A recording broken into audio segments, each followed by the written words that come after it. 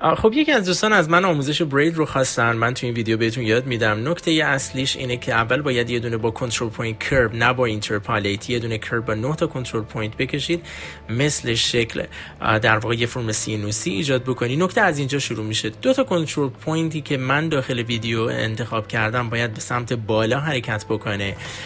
و دو تا control point دیگه که داخل ویدیو نگاه می‌کنید یعنی این دوتای دیگه باید به سمت پایین حرکت بکنه. توی نمای ترو فینگر حالت infinity می‌گیره. شما 99 درصد کار رو انجام دادید. نکتهش در همین بود که ساختن این فرم اولیه. بقیهش خیلی راحت شما array linear می‌کنید و بعد از اون دو تا کپی ازش می‌گیرید. فاصله رو تنظیم می‌کنید که فرمتون منظم و مرتب در میاد. و بعدش خیلی راحت می‌تونید pipe بزنید و flow along curve می‌کنید و کارتون تموم میشه.